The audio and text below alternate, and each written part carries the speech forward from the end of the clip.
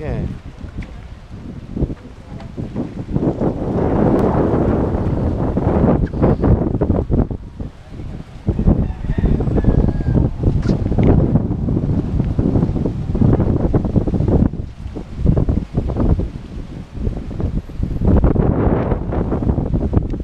Look at all these people.